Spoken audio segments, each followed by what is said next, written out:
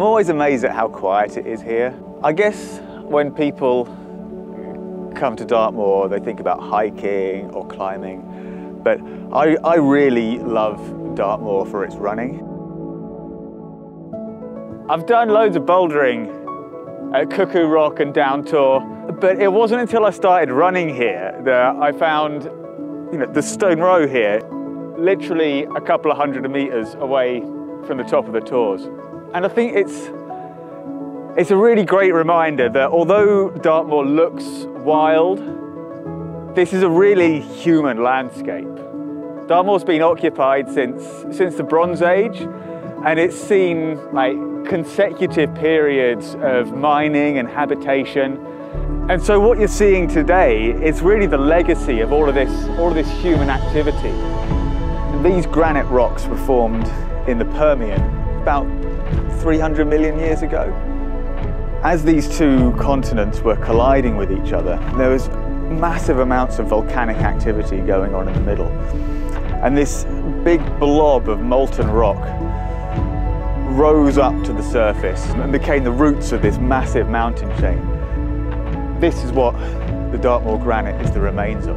The actual formation of these rocks really helped to characterize what the climbing is like here. Because the granite was cooling really slowly, there was loads of time for these massive crystals to form. So a lot of the climbing on, on Dartmoor, you're pulling on these, these crystals and smearing on them, and it was really, really characteristic of the area.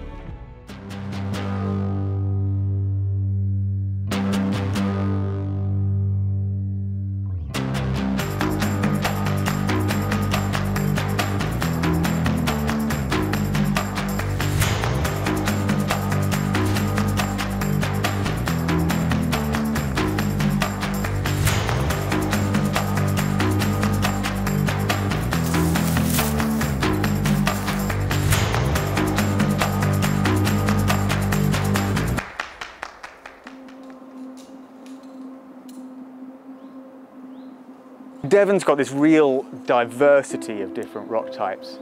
You've got limestone and granite and the Culm Coast and all of these different rock types, they lend themselves to like totally different styles of climbing. You know, all the way from steep, hard sport climbing to sketchy, like sea cliff trad to bouldering. So there's, there's loads to get at down here.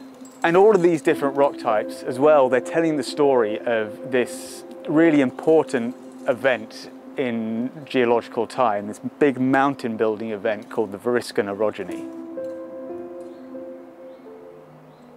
This is Chudleigh, which is a, a really well-loved, well-loved trad crag in the south of Devon near Exeter. It's made of limestone. Like all limestone, it was deposited in the bottom of a shallow sea. And this, this limestone was laid down during the Devonian, which is kind of around 400 million years ago when fish were starting to radiate in the seas and the first ones were starting to flop up onto land before the evolution of um, four-legged animals. So a really interesting time geologically and in terms of evolution. The Devonian itself was actually named after Devon because the rocks from this part of the world were where we first started to study this, this period of time. So yeah, Devon is Devonian.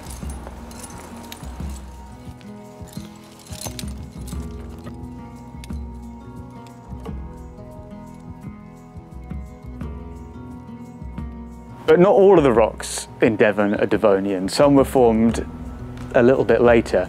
So we're going to whiz up to the north coast now to have a look at some other marine sediments that were formed a little bit later on and have a really really different character to the limestone here. We've come up to the Culm Coast. This part of the coast is known for these, for these incredible pieces of rock architecture, these massive sweeping slabs, like here at Smoothlands. And with these massive sweeping slabs, it comes like some really hard, scary trad climbing. It's a really beautiful place. I did a lot of my early days of climbing happened in the southwest. I led my first E1 on Dartmoor, my first E2 at Chudleigh, my first and only E3 up here on the Culm Coast. It's, um, yeah, it means quite a lot to me actually. So like the limestone, the sediments here are marine sediments, but rather than being formed in a shallow tropical sea, these are the results of these massive underwater avalanches. And you can see all these different layers building up through the rock. And each of these layers is like an individual geological event deep underneath the sea. I mentioned this mountain building event, the Variscan orogeny, and this is part of that story. And so you had these two ancient continents that were moving towards each other, colliding like ever so slowly. And as they were doing so, all of the rocks around them were being contorted and bent and squished together. That's what has caused these amazing folds in the rock and this incredible, you know, this incredible dynamic looking rock architecture. It's really stunning. I think Devon, Devon offers so much for you as a climber, no matter what sort of climber you are. For me, like climbing and the natural world have always been really closely linked. And my experience of one has tended to affect the other. And you can really get a sense of that in places like this.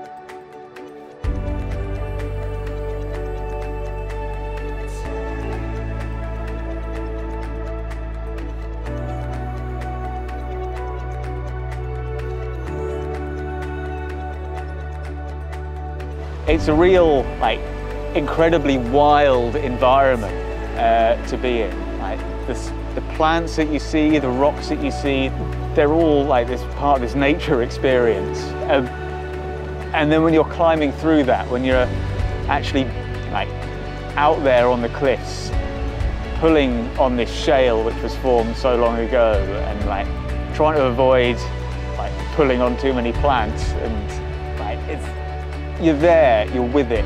And yeah, Devon's so good for that.